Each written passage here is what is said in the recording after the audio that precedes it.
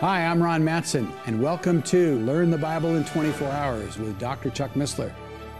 Chuck will be taking you through some interesting oversights of the Bible and showing you some amazing facts. For more information on how you can join this group, click here.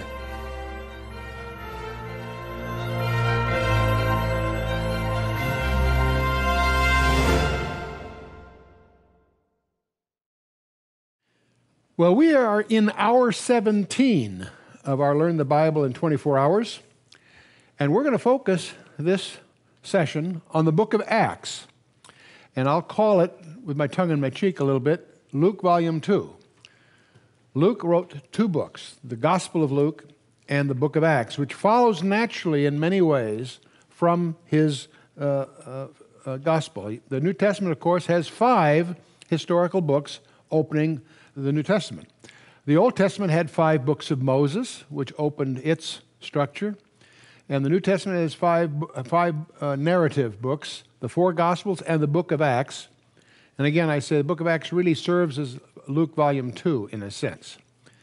And that's followed by epistles, which are the interpretive uh, sessions, and we'll get to those, of course, later, and climaxing with the book of Revelation, which wraps up the whole Bible in a comprehensive way. But the book of Acts is our uh, focus tonight sometimes in some of your Bibles called the, the Acts of the Apostles. Well, if that was true, it's a little puzzling because you've, uh, you've only you got primarily Peter and Paul in the, the first half of the book of major section of the book being Peter and the second section being Paul. But it could be more properly titled the Acts of the Holy Spirit because there's much more going on than just Peter and Paul with Philip and some other things. But uh, you may recall as we looked at the design of the four Gospels, we recognized that each of the four main writers had a specific theme, a specific focus, a specific approach. Matthew presenting Jesus Christ as the Messiah of Israel, a very Jewish perspective, starting his genealogy with Abraham and going right on through, uh, finishing with the resurrection, which is a very, again, a very Jewish focus of attention. Mark, who is really Peter's uh, secretary, wrote emphasizing his servanthood. And uh, he focused on what Jesus, not what he said, but what he did. It's almost like a shooting script if you study it carefully. But it finishes with uh, the ascension. Luke, being a doctor, focuses on Christ's humanity, the Son of Man. And uh, his genealogy starts with Adam and goes right on through through Mary. We covered all of that. And uh, he closes his gospel with the promise of the Holy Spirit, how that when Jesus would leave, the, Holy, the Comforter would come. And as you realize what that really does, it deliberately sets up the book of Acts. And, um, and uh, John, as the fourth gospel, focuses not on what Jesus said or what he did or what he felt, but who he was and uh, the Son of God. And he finishes his gospel with the promise of Christ's return, which is interesting because he sets up his gospel, in a sense, uh, he sets up his sequel, the book of Revelation, of the return of Christ. So, so again, John focuses on who Jesus was, and uh, uh, Luke on the uh, Holy Spirit, which of course sets up the book of Acts. In John 14, 26, Jesus said, But the Comforter, which is the Holy Ghost, whom the Father will send in my name, he shall teach you all things, and bring all things to your remembrance, whatsoever I have said unto you. So this is a pre announcement, anticip- anticipative announcement in the upper room. And uh, he continues a, couple chapters later, he also amplifies his mission. Jesus says, Howbeit, when he, the Spirit of truth, is come, he will guide you into all truth. For he shall not speak of himself, but whatsoever he shall hear, that shall he speak, and he will show you things to come. So here again, Jesus is doing several things. He's announcing the primary mission of the Holy Spirit. Don't be confused by this. The Holy Spirit's very active all through the Scripture. The first quotes of God involve the Holy Spirit. The Spirit of God moved or brooded above the, uh, above the waters in Genesis in the first chapter, the second verse of the first chapter. So the Holy Spirit's very active, but he is he comes in a very special way uh, uh, uh, to accomplish these things. And uh, he will guide you into all truth. He shall not speak of himself. You know, it's fascinating to notice throughout the Bible, whenever there's a type or a model, like Abraham being the father and Isaac being the son, the son being offered, and so forth, it's always interesting that the Holy Spirit is always in the role of an unnamed servant. In Genesis 24, where Abram commissions his, uh, his uh, business partner uh, to go and get a bride for Isaac. Again, we have Abram, the role of the father. We have this guy, unnamed there, but if, if you go uh, um, several chapters earlier, you'll find out his name is Eliezer, which means comforter. But it's interesting, he's always an unnamed servant. In the book of Ruth, when uh, uh, Ruth is introduced to Boaz. Ruth is uh, the gen- going to be the Gentile bride of the kinsman redeemer, Boaz. Who introduces Ruth to Boaz? An unnamed servant. It's fascinating to notice the Holy Spirit, when he's in a typological model of some kind, it's always an unnamed servant. And uh, why? Because of John 16, 13. He shall not speak of himself. But whatsoever he shall hear, that, hear, that shall he speak. He will show you things to come. There's also a pre endorsement of the New Testament, which will come out of all of this. And uh, it's interesting how in John 16, Jesus emphasizes the apparent mutually exclusiveness in some sense. Um, the, for this next phase, it, Jesus announcing, of course, in the upper room, John 14 through 16 being that, in fact, through 17 of the upper room discourse. He says, It is expedient for you, speaking as disciples, that I go away. For if I go not away, the Comforter will not come unto you. But if I depart, I will send them unto you. Now, we can't pretend to really understand the dynamics here, except it's clear that there's some kind of exchange going on. Jesus would leave in order for the, to make it possible for the Holy Spirit to come and dwell among us. So there's a concept here of locality. When Jesus was on the earth in his ministry, he had locality. You could touch and feel him. He was in a, a specific location geophysically. And uh, uh, it's interesting that by his going away and the Holy Spirit coming, the Holy Spirit can be everywhere at one time, among all of us, not in just one, one place. So it's interesting to see the, uh, uh, the, the, differences there. But um, so the acts of the Holy Spirit will involve a number of things. We've got um, the ascension. We'll see Pentecost, which, as we would call it, or the Feast of Shavuot, the birth of the church, major feature. The outrage against Stephen will occur. Philip and the Ethiopian treasure, we'll talk about that because most people don't know the background there. Uh, the call of Saul, if you will, or Paul. And uh, we got 28 thrilling chapters here that are going to include all things. Peter's vision uh, at Cornelius is introduced. Here's a Jewish apostle introduced to the Gentile world by a centurion, or a vision through the centurion. And uh, which, of course, opens the mission to the Gentiles. And then this very interesting council in Jerusalem. And um, they're, they're, this whole book, it's a shame we have to survey it so superficially because it's full of intrigues, violent mobs, blood oath alliances, people, group of 40 guys swearing to the death to kill Paul. These guys were, took what they were doing very seriously on both sides. And uh, all kinds of corrupt officials and so forth, jailbreaks, shipwrecks, magicians, sorcerers, um, raising from the dead. All, all these things are going on. It's very uh, interesting book, a very dynamic, uh, uh, dramatic book. Um, but it's also a very key book. It's the bridge, if you will, from the history to the interpretive epistles.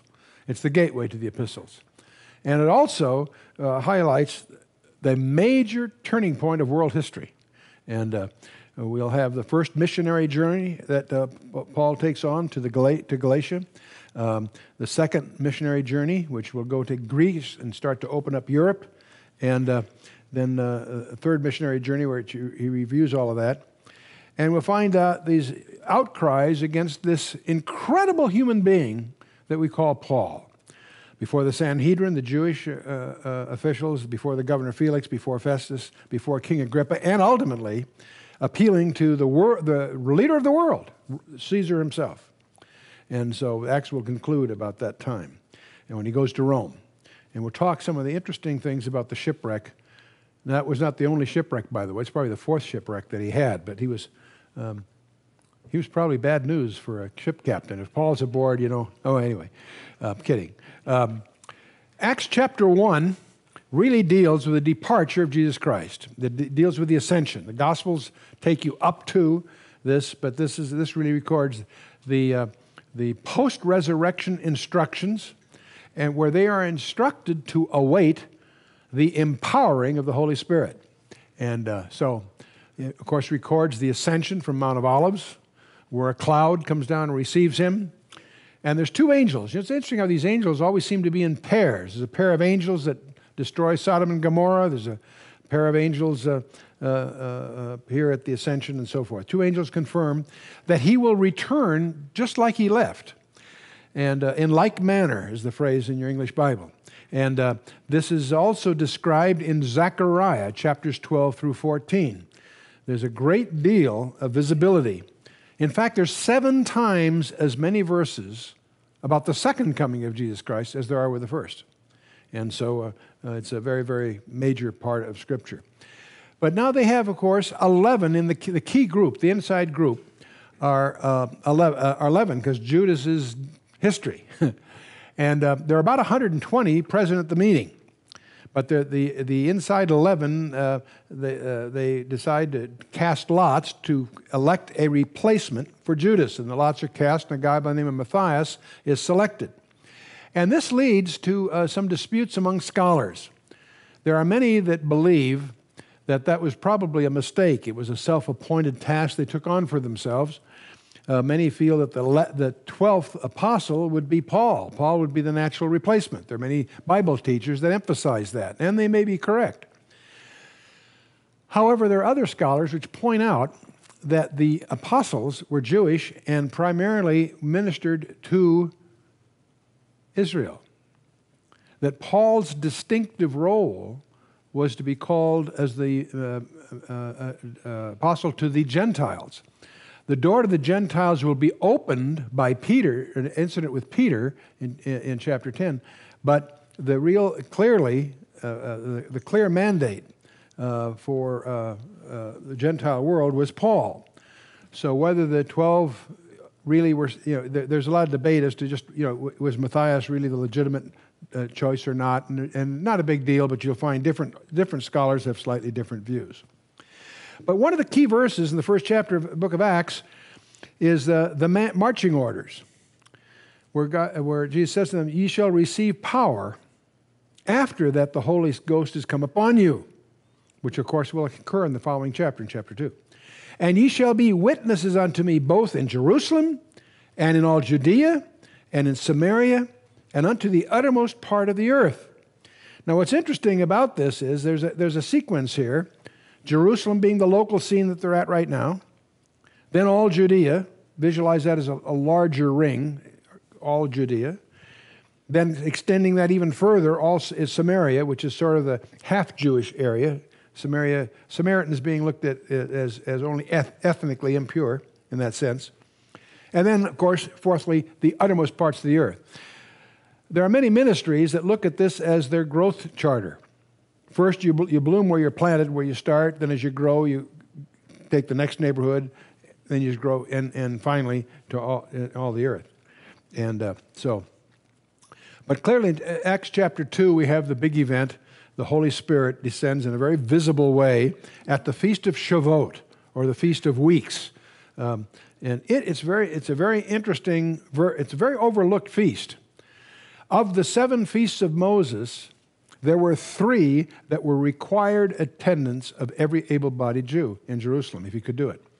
And uh, Passover, actually, it's Feast of Unleavened Bread, but generically, the Passover season is one of them the Feast of Tabernacles at the end, and there's a strange one in between, the Feast of Shavuot. And it's the only one that has leavened bread involved. It's a very peculiar, it's, it's obviously a, a, a, a predictive feast of the gift of the Holy Spirit. It's fulfilled on that very day. And uh, as, they, as, they, as they meet, the Holy Spirit visibly descends like flames of fire. And uh, everybody, all the people there from all over the world, uh, hears them speak in their own tongues. And uh, they, they're really quite disturbed. Something very supernatural is going on. And Peter explains it by quoting from Joel chapter 2. And uh, it, uh, it, uh, it's, it's, it's, the, it's the birth of the church. This is where the mystical church begins. This is one of the distinctions you need to emphasize in your own Bible studies to recognize that not all people that are saved are necessarily in the same category. There are people saved all through the Old Testament, obviously, and there are also people that are saved during the period we live in today. But th- there are some very important distinctives between those two, and there's going to be again a third group, in effect, those that are uh, saved after the church is gathered. You need to understand as you study ecclesiology, the study of this peculiar, mystical thing we call glibly the church. And we're obviously not talking about the physical edifices of churches, we're talking about the, the, this, this very privileged assembly that you and I are part of if we're in Christ. We enjoy privileges and blessings that are unique to us that were not available to the people in the Old Testament. Very distinctive. And that's what Paul tries to get across in his epistles. We often don't understand his answers because we don't understand the questions he's dealing with. And so be sensitive to that in any case. Israel and the church are not the same thing, they're both distinctive. They have different origins, different missions, different destinies. Need to understand that. Check it out. Well, we won't go through each of the chapters, the 20 chapters in Acts, but there, chapter 7 of Acts is an incredibly interesting, instructive chapter. It's basically this young kid, Stephen, is before the Sanhedrin, the most august body in the Judaism. And uh, he gives, this kid gives these elders a history lesson. In this speech, he reviews the history of Israel. This is interesting for several reasons. Let me give you two. One is he mentions things in his speech, he makes comments, in effect, about the Old Testament that you will not find in the Old Testament. There are insights here that are unique to this chapter, that he, un- he unravels a few riddles for us by his perspective. The other reason it's interesting is to figure out where he's headed. They do not let him finish his speech. Before he's finished, they take him out and stone him to death. It's interesting to study his speech, outline it for yourself on a piece of paper sometime, and see where he was headed. And I'll give you a few clues. First of all, there's a place where he talks about the Pharaoh that, uh, of the Exodus. He mentions how Joseph is down there and, and, and, and in charge and all that. But then another Pharaoh that knew not Joseph rises. Now, in the English, when we say another, we just mean another. In the Greek, they have two different words. If I want one of you to give me another pencil exactly like the one I have, I just broke it, I want another one like the one I've got, you see, I would use the word allos for another. If I really want a different kind of pencil, I've got a red one, I want a blue one or something, then I would use the word heteros, a different kind. It's like saying another of a different kind. The first one is another of the same kind. What's provocative in the Greek of Stephen's uh, uh, discussion of Pharaoh, he uses the word heteros, which means the Pharaoh that succeeded the Pharaoh that was favorable to Joseph was a totally different kind of guy. And that puts us on the alert when you get to, it turns out that the Pharaoh that, uh, of the Exodus was not Egyptian, he was an Assyrian. You will not find this, I don't believe, in any study of Egyptology, because they all presume, they, make presumptions. There are some the recent scholars that are, have just shredded the traditional um, uh, uh, chronology of, of, of, of the Egyptian pharaohs you discover if you get into this, start studying it, all the you know 25th dynasty or whatever. These are scholastic labels. They were not necessarily clear from the, the dynasties of the time. They're, they're, they're retrospective scholastic categories, and there are some studies now that have show that if you put if you analyze what we think we know about the pharaohs carefully, they do fit astonishingly with the Bible. And one of the embarrassing things, if you've done biblical studies in the past, the, the, the Egyptian lineup chronologies and the biblical chronologies don't seem to mesh at all. Well, that's because of poor scholarship of the past. Some, there's some very radical studies that are, are kicking that anthill, if you will. But Isaiah chapter 50, verse 4 tells us that the Pharaoh of the Exodus was Assyrian. Pharaoh was a title, he wasn't always Egyptian. A very important Pharaoh we're going to talk about uh, when we get to Acts chapter 8 is, uh, uh, we'll, we'll get into that there. But something else we also discover in the first few verses of, of Stephen's talk, we discover that Abraham didn't obey God the first time. God had said to Abraham, Get you out of the of the Chaldees. And so you read Genesis carefully. The allusion there is something God had said earlier. He's supposed to leave his family. He didn't. He just moved up a river. And uh, that, that uh, is another fascinating aspect to Abraham's life that emerges out of Stephen's summary here. But something else, a larger overview, what Stephen's really highlighting as you study his talk is that Israel's history has always been a pattern of failures.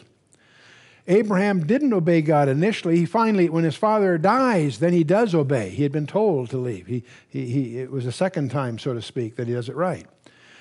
Joseph was rejected by his brothers. Um, and uh, he, uh, again, there's a double uh, uh, uh identity time there right, before he's uh, um, exalted.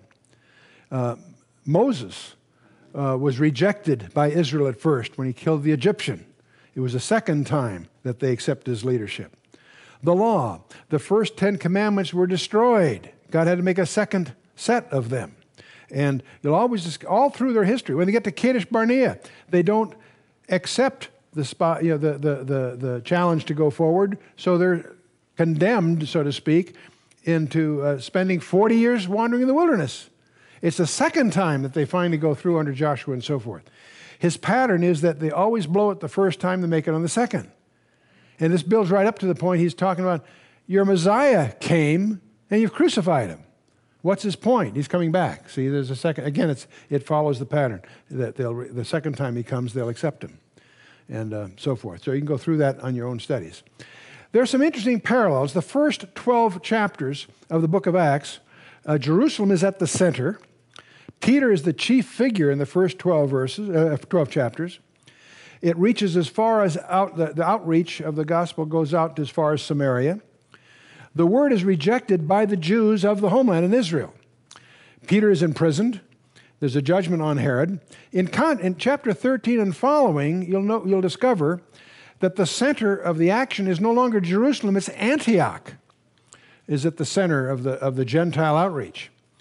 Peter's no longer the chief figure. We don't hear much about him after that, occasionally. Paul is the chief player in the, in the last half of the book. The reach outreach here goes all the way to Rome. And the word is rejected now by the Jews of the dispersion. Paul is imprisoned, not Peter, and the, there's judgment on the Jews. So, interesting parallels. There's another way to parallel the book of Acts as you go through it. Peter, his first, ser- first sermon is Acts chapter 2. A lame man is healed in chapter 3. Simon the sorcerer is dealt with in chapter 8. The influence of his shadow heals people in chapter 5, strangely enough. Laying on of hands. Uh, Peter's worshipped, actually. He rejects it, of course, but they try to worship him in, in chapter 10. Tabitha is raised from the dead. Peter's in prison in chapter 12. From chapter, after chapter 12, Paul is the key player. The first sermon is there in chapter 13. A lame man is healed. Elymas, the sorcery, is, uh, is uh, uh, uh, the key thing in chapter 13. Again, we have these strange influences of handkerchiefs and laying on of hands emphasized. Paul is even worshipped in chapter 14, or they try to. Antiochus uh, falls out of a third story window, but he's raised from the dead in chapter 20. Paul in prison. Not a big deal, but there's some interesting parallels here in structure that I think uh, probably deliberate or is certainly, uh, I think, an intentional design. But let's take a look at it. Uh, let's take another look at it uh, geographically. Let's talk about Philip. Um, he's one of the, after the stoning of Stephen, uh, the believers in Jerusalem were scattered. And uh, Philip was one of the seven helpers, or deacons, if you will, of the early church. And he goes to Samaria, and many people are healed uh, in Samaria. And uh, it's up north, it's a, a, marginal country from a Jewish perspective. And it's up there that Simon the magician comes to faith. Down in Jerusalem, there are several, namely Peter and John, are surprised that the Samaritans are accepting Jesus. They're excited about that. They go up to check it out. And they do, and find, they do and find that these Samaritans are very enthusiastically accepting Christ. But they also recognize this guy Simon, who was a magician, uh, apparently of some repute at the time, who became a believer. Um, they had to admonish him because he, uh, he offered them money for the Holy Spirit. But anyway, Peter and John do investigate and, get, and they get good return. They get good news, although they did, they did admonish Simon. But now, right in the middle of this um, revival, so to speak, uh, Philip is sent by God down to the Jerusalem to Gaza road. There's a road from Jerusalem down to Gaza. And Philip is pulled out of this revival and sent down there to meet, of all people, an Ethiopian treasurer. Uh, he is on his way home confused. He apparently has gone to Jerusalem to worship the Messiah. Apparently finds out he's been killed, whatever, he's confused. He's on his way home now confused. And we have this interesting incident where Philip approaches him and says, Do you understand what you're reading? How can I, unless somebody helps me? And it turns out he's reading from Isaiah 53, and I'm going to suggest 52 and 53 for some reasons.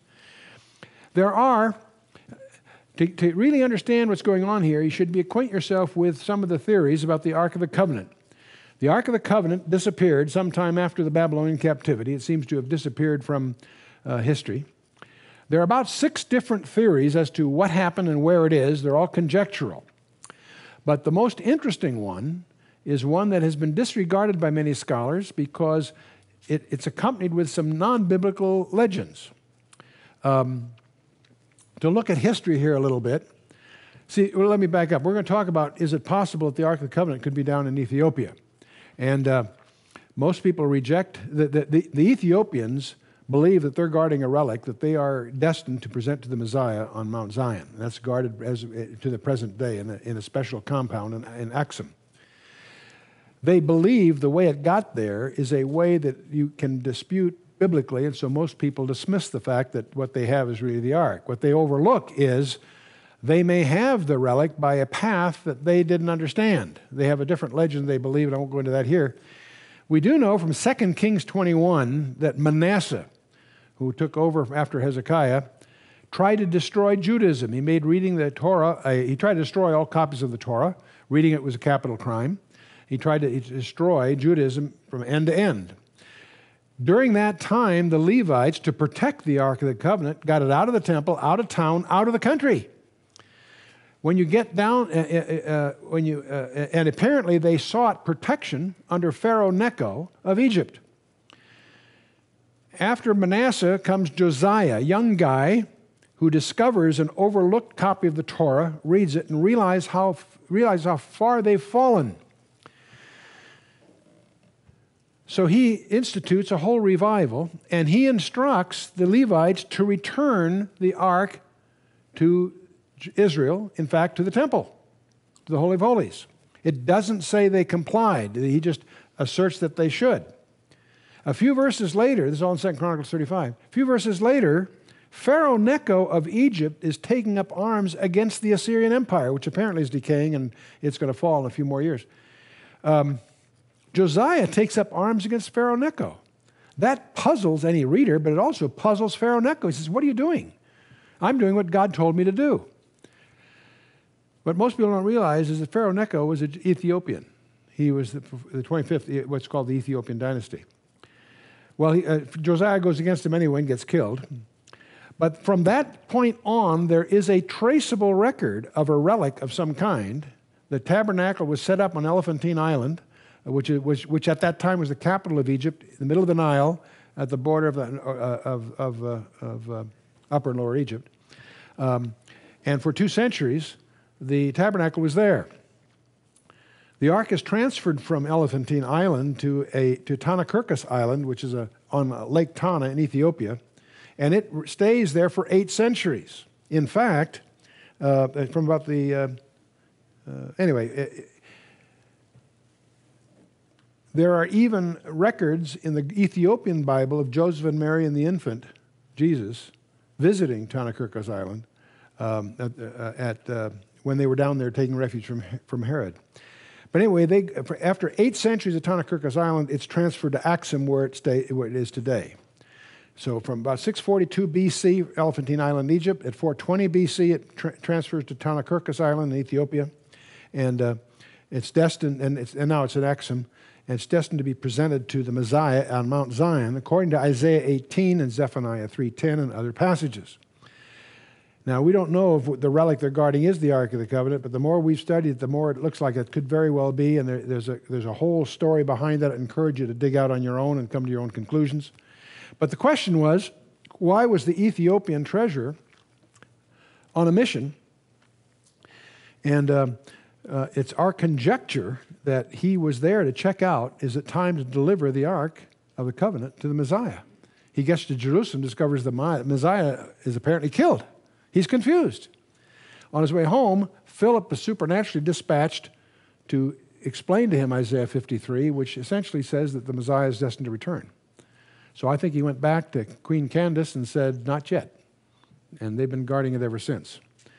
Uh, it moved from Tana Kirkos Island to Lake to uh, Aksum, Ethiopia, in, in uh, 330 AD, and uh, they celebrate it every year.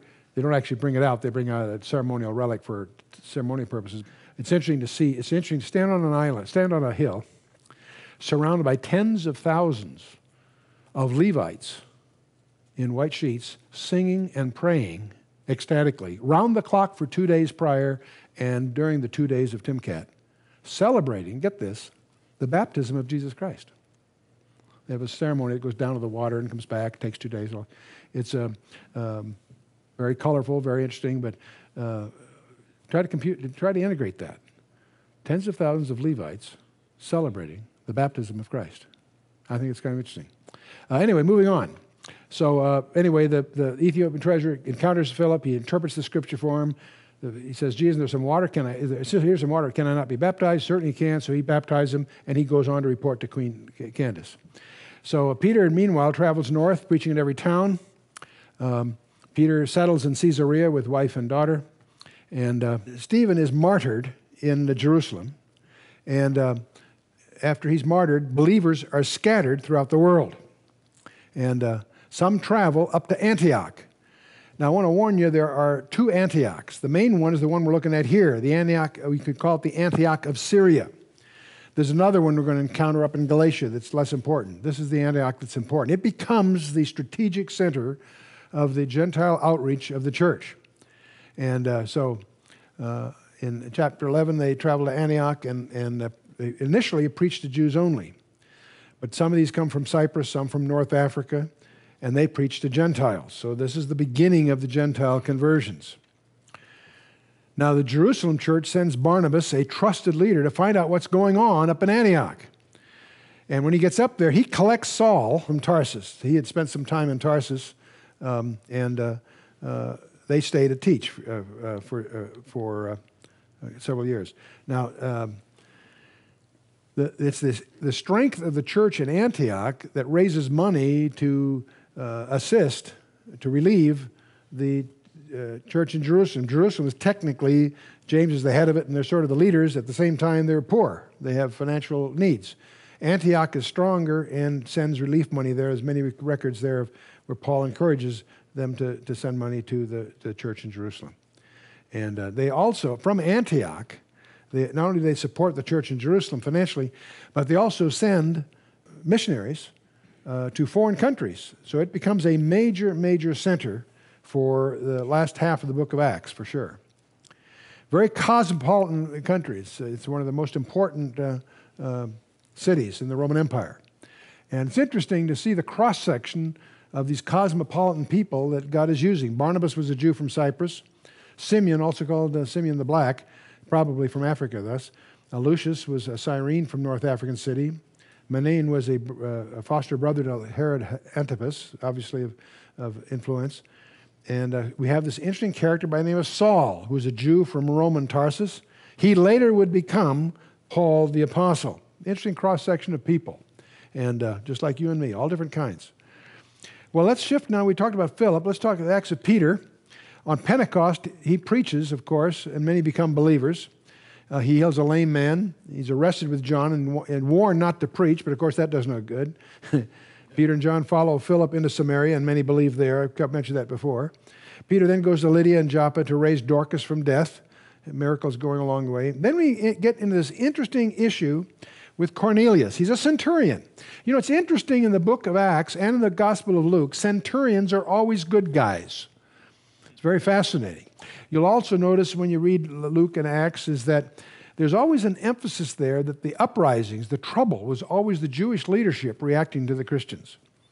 And uh, it's uh, uh all through the book of Acts, the, the, the, persecution didn't come from the Romans, came from the Jewish leadership. The Roman oppression came later, and, and Nero and much later. But in any case, here we have Cornelius. He has a vision in Caesarea, that's where he's based. That's, that's the, major, the major headquarters for the Roman activity was Caesarea, not Jerusalem. They were in Jerusalem only for holidays. The Pilate was in Jerusalem during Passover because it was a holiday. Normally, he would have his, his headquarters was in Caesarea. Anyway, um, so he has a vision and he sends for Peter, who's down in Joppa. Well, while this is going on, Peter down in Joppa has a vision. And, he's, and he, so he goes to Caesarea. And this is where we have this strange vision where this sheet comes down with all the non kosher food in it. And rise and eat. And he wouldn't eat because it was Jewish. This is non kosher stuff. And he says, don't, you know, don't, uh, don't condemn what I have blessed. So it, it, it, that happens three times. The, the, the, message it gets across to Peter is that, uh, that uh, all things are lawful. And it's a whole different, uh, uh it's, it's really opening the door uh, to the Gentile believers. Major thing in Acts 10. So he, Peter reports to the Jerusalem church, who, who accept because of all this, they accept the fact that the gospel is for Gentiles also, not just Jews. And uh, this starts, this leads to a whole other set of issues that are going to come to head in chapter 15 of Acts. But at this point, there are Gentiles that are accepting Christ and becoming what you and I would consider what we would call Christians. Peter's arrested and he's miraculously released and so forth. There's many of these episodes going. And he ultimately will testify at the Jerusalem Council in uh, Acts 15, and uh, we'll get there. The rest of Peter's work, we don't know much about. We know that he meets Paul in uh, Antioch, and uh, he also visits churches in North Asia Minor. We hear allusions to that. There's evidence that he was in Corinth at one time. He wrote his first letter. First Peter was written from Babylon. Now, it's very interesting. Uh, there are many people that believe that Babylon is a code for the book for the city of Rome. That's utter foolishness. Um, Babylon was a major Jewish center. He wrote, he wrote the, his first epistle from Babylon.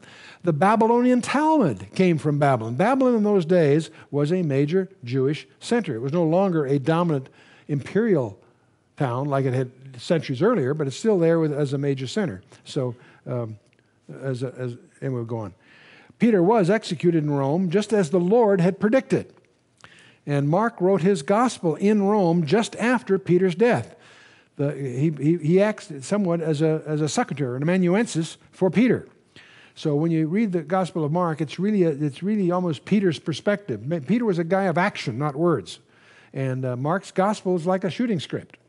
It includes details. When they sit on the grass, it's green grass, etc. If you watch, it's a very brief, tight little gospel. Actually, it'd be longer than Matthew if, you, if, you, if Matthew hadn't included all the discourses. Matthew included the discourses because he took shorthand. But uh, let's get to pick up this Damascus Road event. Very, very important thing. Saul, he spent his early years in Tarsus. He was a, a born a Roman citizen, raised in Tarsus. Tarsus was a very important Roman city. And uh, it was also the seat of a uh, famous university, higher in reputation than any of the other universities, even Athens or Alexandria. Uh, were the only other ones that existed. But Tarsus was a, was a top uh, uh, you know, intellectual center. He was taken to Jerusalem as a young boy and educated by, of all people, Gamaliel himself. Gamaliel is probably the most venerated you know, Jewish teacher at that time. So he became a Pharisee, very well taught in both Greek culture and uh, Hebrew culture. And of course, when Stephen is stoned uh, to death for his faith, Saul's the guy holding the coats of the guys throwing the stones. And he becomes a violent persecutor of the church. And uh, he's given uh, letters of authority to imprison Christians. And he even travels to foreign cities to root them out. So this is, uh, uh, uh this is Saul. So he's, he's as I say, educated in Jerusalem and so forth. And now he's on the road to Damascus, on the way there. And he's confronted by guess who? Jesus Christ. Saul, Saul, why do you persecute me? And, uh, and, and he's also, he's told then to go, when he gets to Damascus, to check out with this guy Ananias, Ananias. And uh, he's blinded in the meantime. And uh, when he gets to Ananias, his blindness is healed. And he's baptized there as a Christian. Now, this also leads to some speculation. We do know that Paul had some medical afflictions. We also have hints in his letters that they had something to do with his eyes. So even though his blindness was healed, he apparently did suffer some ocular, uh, uh, uh, ocular optical impairment here. Or, and, and apparently it was very uh, non-cosmetic. And uh, those are, so we don't know that much, much more than that. But in any case, he has this incredible experience where he now is uh, called by the Lord Jesus Christ to serve him. He stays in Damascus. While there, he, during the Damascus period, he also spends about three years in the Arabian desert and then returns to Damascus. And uh, so he's, uh, he's uh, uh during that time, he apparently is instructed uh, directly by the Holy Spirit and so forth. Now, he becomes the apostle to the Gentiles. So, three years after his conversion, he is now forced to flee Damascus in a basket. They lower him over a basket over the wall to, to get him out of town. That's a pattern he's going to endure a lot in his life, I guess. He goes to see Peter, and Barnabas uh, introduces Paul to these suspicious believers. You got to understand the prediction of the predicament of the believers in those days. Here's this zealot that has been persecuting, who's now coming and posing as a Christian. They think he's just a, it's just a ruse to get their names before they you know, get imprisoned or something. So they had to overcome that uh, paranoia, if you will.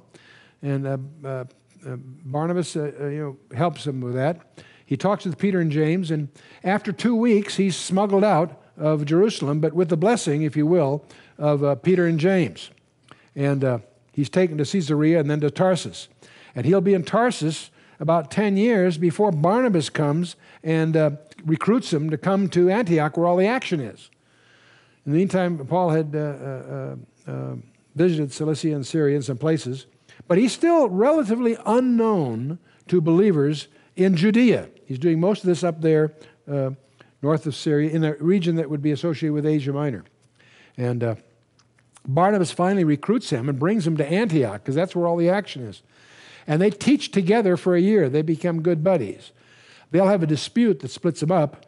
Um, meanwhile, Saul, Barnabas, and Titus bring famine relief money for Judea. See, again, the churches up north are helping to support the believers down in, uh, in uh, uh, Jerusalem. And, and so, uh, anyway, uh, the, the leadership meets privately and they uh, acknowledge Saul's ministry to the Gentiles. Now, this leads to the first missionary journey which is the, the goal is really Gal, what we would call Galatia, if you will, or, or Asia Minor. Uh, uh, so Salam, these are the different cities. Let's take a look at the map. Um, Saul and Barnabas set out together from Antioch, uh, and they're joined by a young man, young John Mark. Rich kid, probably a little spoiled.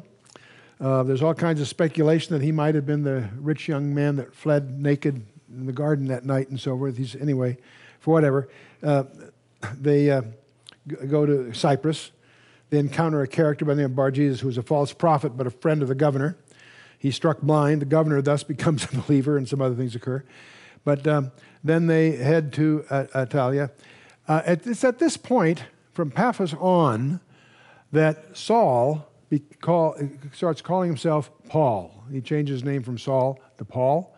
And uh, it's also about this time that John Mark is not excited about getting up in Galatia. It's apparently very rough country, and he fades on them and goes back to Jerusalem, something that really upsets Paul later. It gets into a big debate with Barnabas over this.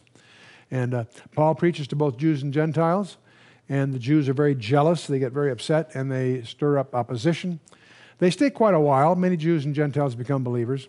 But a Gentile plot against their lives forces them uh, to move on. At Lystra, Paul uh, uh, heals a cripple. They, they are hailed as gods, that people want to worship them. Enemies arrive from Antioch and Iconium, and they're almost killed there. And uh, they flee to Derbe, and many more disciples are won, and so forth. Several times here, Paul several, will be left for dead. Um, and uh, uh, whether he actually died or whether he rose from the dead is a debate among some scholars. But in any case, uh, there's some lot of adventures here. And so um, they return back home the way they came, revisiting the churches they planted, encouraging these young churches. And they finally report all, they give the final report uh, to the church in Antioch. Now, this leads to Acts 15. This is a chapter that's very, very important. We obviously can't recount all the little details, you just read them, but uh, once you understand Acts 15, a huge controversy has erupted within the church. over what obligations are incumbent upon Gentile believers.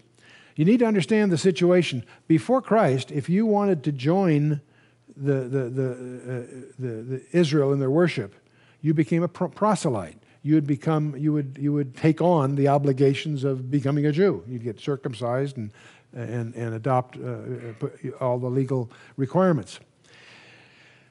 The Jewish church, the, the, all the believers, the apostles, everyone, they were all Jewish. And they took for granted that if you wanted to join the church, great, you became a Jew. And uh, they assumed you get circumcised and you'd have to keep Mosaic law. And uh, a big uh, others said, no, they're still Gentiles. They're saved, but they're Gentiles. So a big controversy uh, erupted here. Do they have to get circumcised? Do they have to keep the Mosaic laws and so forth? Paul and Barnabas and Peter and others came down to Jerusalem to get this whole thing resolved because by now it had become a big dispute. And uh, they, they, they, they give the report about uh, how they've gone to these places and people accept Christ and the Holy Spirit gets poured out, people get healed. They don't become Jewish. That's, not, that, that that's, that's the, the, the, argument. Peter is also there and he testifies. And I want you uh, notice, I love the way Peter puts this in Acts 15. This Peter speaking says, now, therefore, therefore, why tempt ye God to put a yoke upon the neck of the disciples, which neither our fathers nor we were able to bear? He's in, in other words, why make these Gentiles take on all the burdens of, of the Jewish laws? Now, why tempt you God to put a yoke upon the neck of the disciples, meaning the believers, which neither our fathers nor we are able to bear? But we believe that through the grace of the Lord Jesus Christ, we shall be saved even as they. You get the inversion? He's not saying these guys can be saved just like we are. He's saying we might be as saved as they are. because he's, he's doing that in the context of these miracles that they're observing as they go through in these foreign countries where people accept the Lord, they get the Holy Spirit, and, and all kinds of miraculous things happen. So that's what he's, that's what he's arguing. But what most people who study this chapter miss is there are two issues here. The main issue that we focus on is, gee, does a uh, believer have to become a Jew to be saved? And the answer, of course, no. But there's another problem. What must a Gentile do to be saved? He's going to answer that, of course. But the other question is, what's to become of Israel? See, the implied question, the other flip side of that question is, if a believer, a Gentile, becomes, uh, does not have to become a Jew to be saved, what was this all for? All of our history all of these laws, all of these ordinances, the priesthood, uh, all the, you know, the temple. Is this all now over? Is it gone? That's, that's their issue.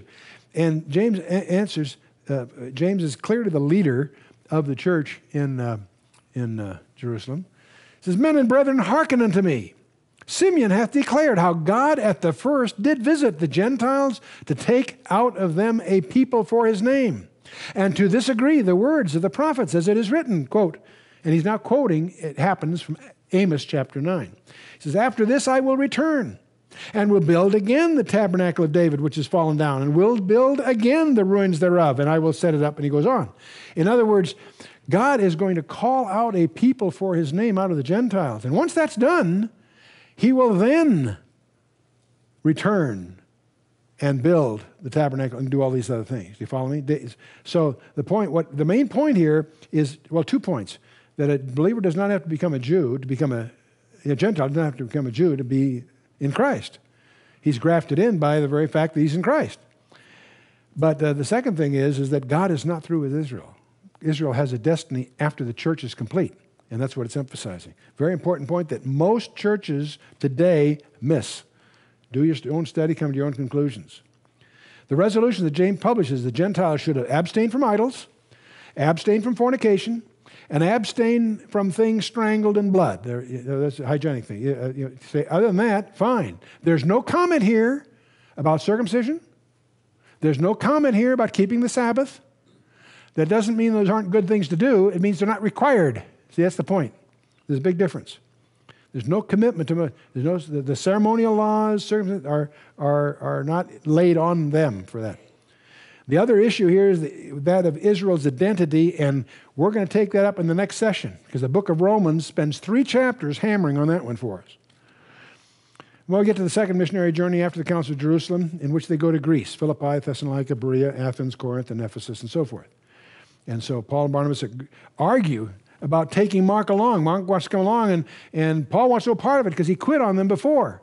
So Barnabas, they, they, Paul, this causes Paul and Barnabas to split up. God usually uses their tension to double their efforts because Barnabas takes Mark and they go their way, and Paul takes Silas and they go their way. So they got now two teams out rather than just one team, see? So Barnabas takes Paul uh, uh with him to Cyprus. Paul takes Silas to Galatia.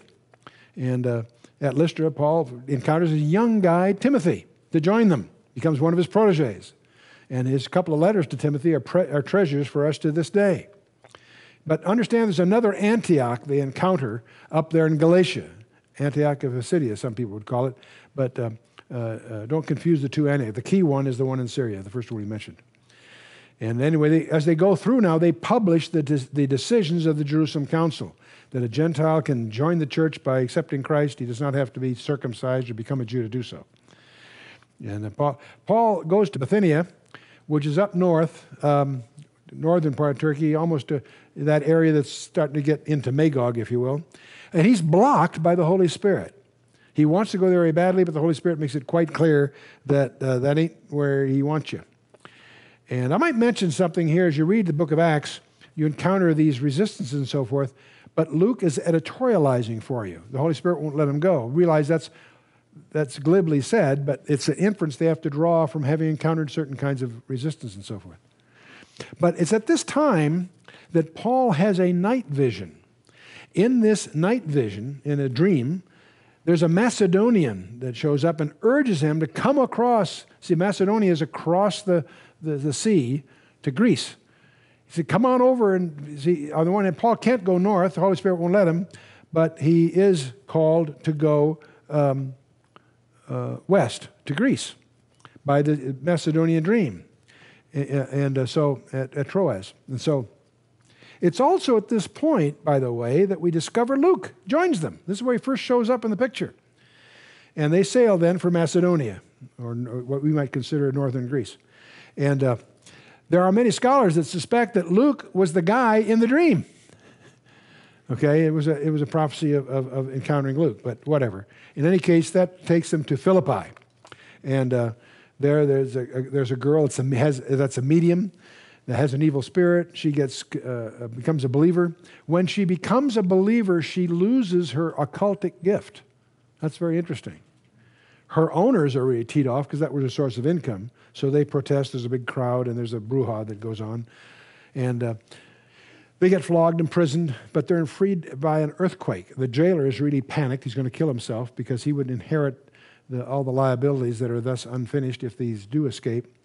But he gets converted by Paul. Very, very interesting. The Philippian jailer is an interesting episode there. They travel to Thessalonica, a little further uh, uh, uh, westward. And uh, so Paul convinces both Jews and Greeks, both Jews and Gentiles. Uh, so Jews, some, the Jewish establishment in the region stirs up a riot against it. And Paul leaves secretly. He has to get out of town, so he slips out of Thessalonica and heads to Berea. And this is chapter, uh, chapter 17. They get a little better reception there, but there's still a mob that gets stirred up by Jews from Thessalonica, and there's still problems. At one of the, there's a verse that's become a, our, our, one of our trademarks in this ministry, because uh, Luke tells us that the people in Berea were more, they had riots in both places. They had people accepted in both places. They had riots in both places. But he says, the ones in Berea were more noble than those in Thessalonica in that they received the word of God with all openness of mind, but they searched the scriptures daily to prove whether those things be so. We might say they came, they're, they're from Missouri. In other words, they were open but still skeptical. And that's healthy. That's what Paul is. They're more noble than those that's like, in that they received the word with all readiness of mind yet search the scriptures daily to prove whether those things be so. The way I usually paraphrase that, that's where Luke tells you don't believe anything Chuck Missler tells you. But do your own diligence. Receive with all openness of mind, but search the scriptures daily to prove whether those things be so. And we've used that as a trademark on our institute and other things, so for what it's worth. Okay. Well, Paul leaves for Athens. He leaves Silas and Timothy behind to, uh, to follow up on the work, and he goes to Athens. And this is where we have the famous, in Acts 17, the, the uh, famous uh, speech he makes on Mars Hill, the Areopagus, or Mars Hill, if you will. Um, And uh, let's talk a little bit about that. Areopagus was the court of the judges, if you will. It, it, was crowned by the Parthenon. If you go there to visit, there's temples, theaters, marketplace, the agora, and all of that. Uh, Areopagus was where Socrates, some four centuries earlier, Socrates was tried and put to death. Um, uh, this is where Paul makes his famous speech. And it's interesting how Paul preaches. He's not preaching to Jews here, he's preaching to Greeks. So he's not speaking from the Old Testament, he's not quoting the scriptures, he's quoting Greek poets. First of all, he starts where their heart is. So you have to understand they were idolaters. Do you know how many uh, gods they had there in Athens? 30,000 is estimated by some scholars. They had all kinds of things. And he notices, so he gives them a compliment. He says, You're obviously extremely devout. You're very God fearing. Look at all the gods you've got. He gives, he doesn't turn that against them. He says, You're obviously very God fearing. But as he's going through this, he says, I found one idol committed to the unknown God. That's the guy I want to talk to you about, the one you don't know. you see? Do you see the, the genius here that's going on? And he goes on, he says, We are his offspring. He's not quoting from the Old Testament, he's quoting from an astronomical poem by Aratus. That was a Greek countryman of Paul, from Tarsus, that is, a predecessor three centuries earlier. He also quotes from a religious hymn of Cleanthes of Troas, who was a contemporary of Aratus. So these are two ancient Greek poets that would be venerated by his audience. And he quotes from them to give them a, place to start. And so that's where the whole the famous speech at Mars Hill is. And uh, he also, in another place, by the way, quotes from yet a third Greek poet, Menander, in uh, 1 Corinthians 15. But in any case, so uh, not a, it's a very famous speech. Not a lot is accomplished. They just agreed to talk more about it later. He departs from Athens to Corinth, which is very close, of course, but not very far away. Silas and Timothy bring news from Thessalonica, and as a result, Paul writes the Thessalonian letters. And he'll spend about two years here despite the Jewish opposition. These Thessalonian letters are the two earliest, we think, the earliest epistles. They're so important that we're going to defer dealing with them until we get to hour 21, which is going to be our review of eschatology. But the fir- it's interesting that both of these letters that he writes to the Thessalonians review what he taught them when he was there. He was there for a few weeks. He's now been gone two years.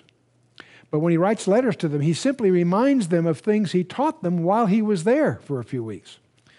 The first letter emphasizes the rapture. They're all concerned, and he explains again how the rapture works. So it's very, very important to understand the First Thessalonian letter. Later on, they again get concerned about eschatology. They're all worried about the fact that uh, the, pers- the tri- tribulation seems to have started and they're still here. They apparently were taught that they would not see the Great Tribulation. Doesn't mean they wouldn't have persecution, there's a difference. Anyway, Paul clarifies that in the second letter. So the two letters, interestingly enough, deal with eschatology. What's really bizarre is these, these are considered very advanced topics in modern Bible studies. But what's fascinating to me is Paul taught them these issues in the first few weeks of their Christian experience. It's two years later, he writes them letters, and in the letters, he reminds them of that which he taught them when he was with them, which means he exposed them to these ideas right up front, which I think is very fascinating. But anyway, the Thessalonian letters, uh, he writes from Corinth back to And we'll, we'll study those in depth uh, in a subsequent session. And, uh, and then uh, they sail from here um, to Ephesus, and uh, they wanted, when he got to Ephesus, they wanted him to stay longer, but he resists that. And uh, they travel back to Antioch via, they go to Caesarea and Jerusalem first, but then they get back to their home church, which is Antioch in effect. They stop by Jerusalem to report, but they, they really, their, their real base of operations is Antioch. So that's the second. The third missionary journey, uh, they finally uh, decide to revisit the churches in Galatia and, and Phrygia, uh, you know, where they were on the first uh, uh, journey. And uh, after they revisit those churches, he makes Ephesus his base there for three years. And uh, Apollos shows up about this time. Disciples of Apollos receive the Holy Spirit. A church is founded, and there's more adventures.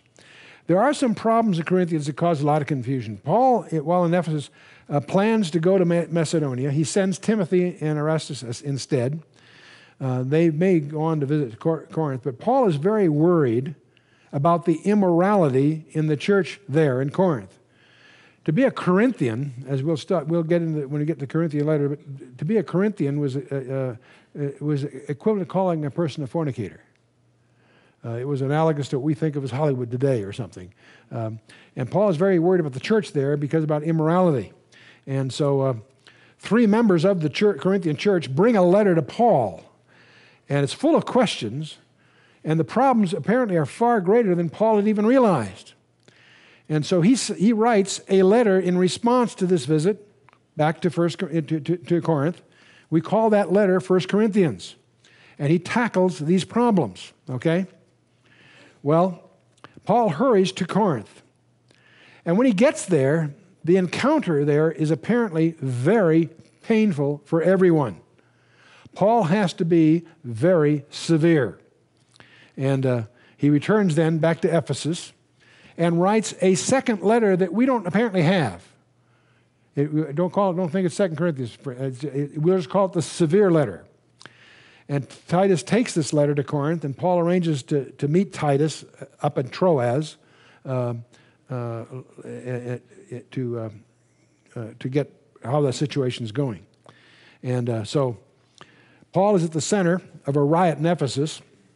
His messages there in Ephesus have threatened the silver trade. They're a bunch of guilds that made their money off selling um, uh, religious artifact, and they're uh, celebrating the, the, the, Ephesian goddess Diana. And uh, so uh, that trade is dropping off because of Paul's preaching, so there's a big riot. And uh, anyway, he, he um, goes up to uh, Troas, and he, Paul's really worried about this last letter, this painful letter. Was it too harsh? Titus is not where he was supposed to be. He somehow, they, they didn't appear as arranged. So he goes to Macedonia in search of Titus. I have no idea how they would arrange to meet, but somehow through the network stuff, they would meet to arrange. And, and uh, meanwhile, he's on the way, he's encouraging churches, and he's collecting money for the church in Jerusalem. Finally, Paul and Titus meet, and Paul gets good news. The severe letter was taken as Paul had intended. It did not result in the misunderstandings that Paul was fearful of. So he writes what we call Second Corinthians. It's really, you might call Third Corinthians if you recognize there's one that we've, we've lost. Some people feel segment, that, that the Second Corinthians is actually a composite of several letters, and the, the, missing letter may be part of it tucked in there. There's the, the scholastic debate about that. But in any case, Paul writes Second Corinthians, it, which is full of joy. Many people, it's their favorite epistle because it's a joyful epistle. And Titus takes the letter to prepare the church for Paul's visit. And so that's the what letter we call Second Corinthians, written um, uh, uh, in response to Paul's anxiety, you know, hearing the good news. He stays in Achaia for about three months, probably in Corinth, or at least in that region. And there he writes the, the letter to the Romans, the most comprehensive statement of Christian doctrine in the Bible. And uh, he plans to travel to Jerusalem by sea However, a plot by his enemies forces him to return through Macedonia. So he changes plans to, to, in response to that threatened persecution. So he arrives at Philippi and at Troas. He preaches till midnight. There's one guy sitting in the window that falls asleep, and it's a third story window, so he fell and, and, and apparently died, and, uh, uh, but he's raised from the dead. I want you to notice that he was uh, preaching for about six hours. So those of you that are a little restless after 60 or 90 minutes, uh, Okay.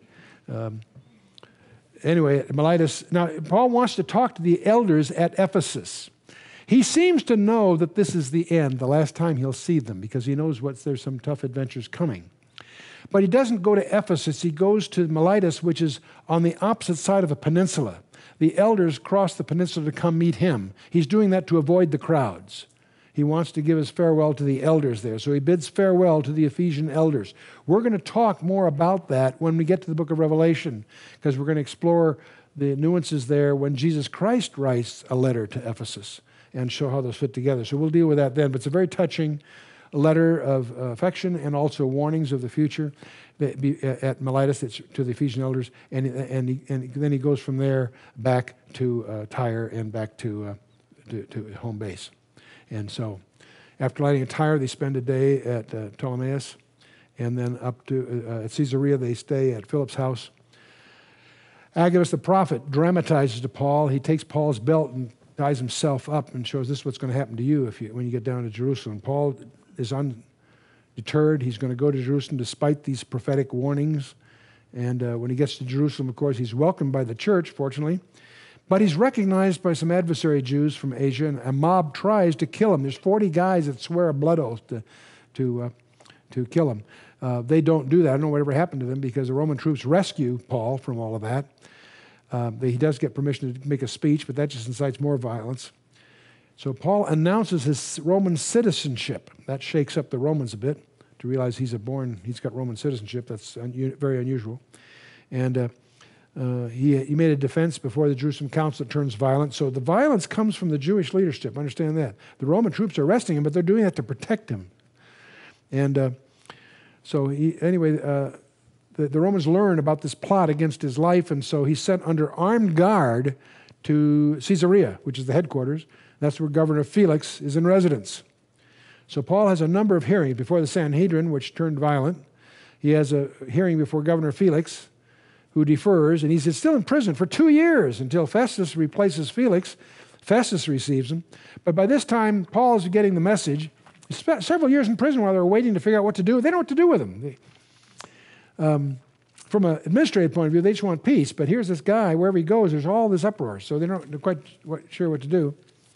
So before Festus, Paul says, okay, I, he, he plays his trump card. I appeal to Caesar. He's a Roman citizen, he has that right.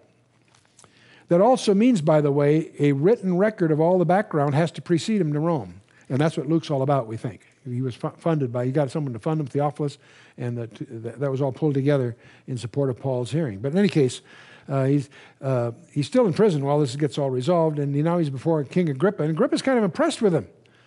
But uh, he can't do anything now because Paul has put it out of his hands. He's put it to, to, to Caesar. That's where that's Christ. That's what uh, Christ's destiny is to get Paul to uh, Rome for lots of reasons.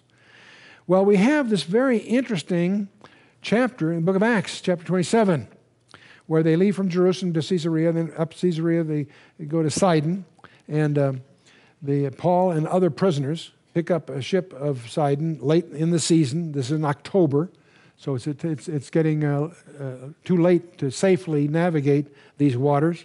Uh, there are very a lot of storms at this time. And uh, so they pick up a, a, a, a, granary, a huge ship, a grain ship, heading for Rome. It's It, that's the way they supplied the food to Rome. Um, at Myra, they pick up this granary, and uh, they get to a place, they, are tacking, and they get to a place called Fairhaven, which is a shelter from bad weather. Um, they hope it's just a little bit further. They'd like to go to Phoenice because they believe that would be a better harbor to weather the winter in. But uh, they have a meeting. The centurion that's aboard, that's the military commander, the ship owner, ship the uh, captain, and Paul. Paul's quite a seasoned, uh, experienced guy at this point. Luke, by the way, is along with him, probably as a slave. It's the only way he would be able to accompany Paul as a prisoner. But he's a, Luke's along as his slave or uh, as doctor. Um, but in any case, uh, Paul tries to advise him to stay at Fairhaven, not go further. But they ignore him. What does he know? and uh, so they decide to try to make it to Phoenix, but a huge storm shifts, and uh, they get near the little island Clauda, but they, uh, they suddenly find themselves in desperate straits. And um, they, the storm blows them. They're fearful of getting to the, the, the, the, the desert area here. If they, if, they, if they should land on the northern part of Africa, in that, in that area there, there's no water for many, many miles. It's, it's, a, it's a, a commitment to death, in effect. And so, but anyway, in, in this storm, they ultimately end up, um, uh, uh, after two weeks they, uh, uh, of storm, they jettison all their cargo and gear, they stave, uh, stave off a mutiny. And along the way, Paul ends up winning the respect and the admiration of, this, of the, of the uh, centurion and the tribunal. He, he's, he, he takes a liking to Paul in fact, saves, saves, he saves their life, and, he, and the centurion saves his. But they reach this sandbar in which the ship's going to break up on, and uh, they, uh, there's an incident where they drop four anchors. They, they, they, they, they, they have anchors to keep the, the ship from crashing, and then they finally cut the anchors, head in, and uh, swim to shore. No lives were lost. All this was predicted by an angel to Paul, and he mentions that if, if they follow his directions, which they do. And in effect, uh, it's quite a dramatic event. Now, the reason I'm touching on this, in Acts 27, there's so much mar- uh, uh, marine detail that it was recently possible, by looking at that very carefully, to track down the four anchors of Paul. They're exactly where the Bible says they would be. And uh, we just got back from a cruise a few months ago where they were formally delivered to the museum at Malta. And uh, so that, that's, there's a, uh, we have briefing packs on that. Bob Cornuke was very instrumental in having this all pulled together, has written some very uh, graphic books on this. It's very worth your reading. I commend them to your background. But in any case, uh, while they're on Malta, they survive a venomous snake and they heal the chief of the island of a fever. After three months, they sail to Syracuse, and after three days at Rhegium, and then on to Puteoli, which is a major harbor. And uh, he's, Paul's very encouraged by the local believers. He's kept under house arrest awaiting trial. For two years, he's under house arrest, in effect, uh, in Rome, and he enjoys considerable freedom to, to, to, preach. The last we hear of Paul, of course, are through his, his pastoral letters. His first, uh, his, uh, there are three books that in the Old Testament, I mean, excuse me, in the New Testament, that they give us uh, uh, glimpses of what happened after the book of Acts. Uh, they're written to two of his young proteges. Uh, First Timothy, Paul is out of prison by this time, probably released from his house arrest at Rome, and uh, at the end of Acts. He'd recently been in Ephesus and heading for Macedonia. He left Timothy in Ephesus to continue his work, and he's giving him counsel, and that letter is very worth reading. Titus was Paul's troubleshooter. When there was a trouble in church that Paul couldn't deal with, he dispatched Titus on a number of occasions. And uh, he apparently traveled uh, to Crete with uh, Titus, and uh, he knows the situation there very well, so he may have been on Crete for some time. He left Titus there to and uh, asked them to uh, meet him at Nicopolis, and uh, we, we, intended to spend the winter and so forth. And so there, Titus is, as I say, one of his troubleshooters. And then his last letter of all, he wrote to Timothy. Now, this situation, Paul is in prison, probably facing death and it's Paul that is encouraging Timothy. You'd think it'd be the other way around. And he seems to expect execution pretty soon. Uh, but he had been traveling recently. He left his cloak and his, some books at Troas, apparently, and uh, he'd been at Miletus and Corinth, uh, leaving friends in all those places. And, uh, and, there's a hint that he may have also been at Ephesus. Anyway, this does seem to be Paul's last letter.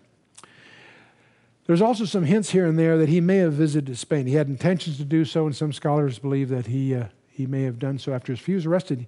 So he was arrested, released, had some freedom, and then was arrested again, and then killed. And so um, there's a tradition that he did visit Spain. So, so much. The book of Acts, let's just wrap it up. The birth of the church is the key issue, as distinct from Israel. Study those topics very carefully. The book of Acts is the gateway to the epistles. We've been to the historical books. Now we're going to get into the interpretation and significance of all these things. The history of the first 30 years of the church is outlined in the book of Acts. The next 2,000 are also in the Bible in the, in the, in the form of Revelation chapter 2 and 3, which we'll deal with in a special session when we get there.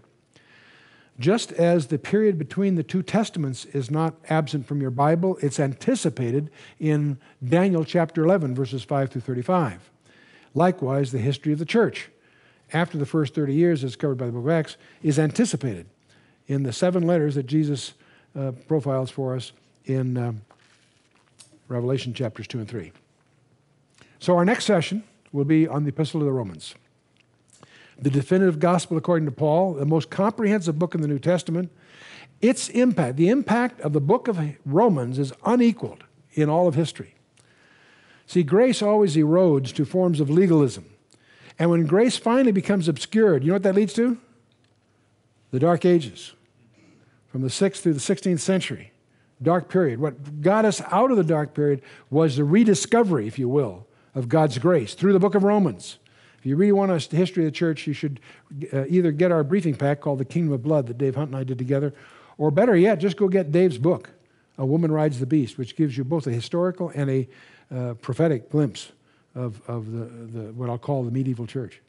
And uh, so uh, that'll be next time.